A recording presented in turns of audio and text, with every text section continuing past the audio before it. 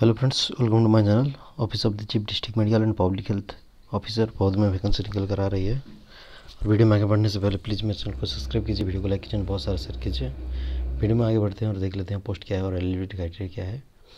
ये वाकई इंटरव्यू रहेगा आपका। स्टाफ नर्स का दो पोस्ट है एलटी का चार पोस्ट है और रेडियोग्राफर का तीन post M P H W M L का उन्नीस पोस्ट और उसके लिए जो स्टाफ नर्स के लिए plus two plus G N M B S C nursing होना चाहिए। लेबोरेटरी टेक्नीशियन के लिए क्वालिफिकेशन प्लस टू साइंस होना चाहिए। और डी एम एल टी का कोर्स आपके पास होना चाहिए। रेडियोग्राफर के लिए आपका plus two science plus diploma और certificate in D M R T होना चाहिए। और M P H W male के लिए plus two science plus diploma in pharmacy का कोर्स होना चाहिए।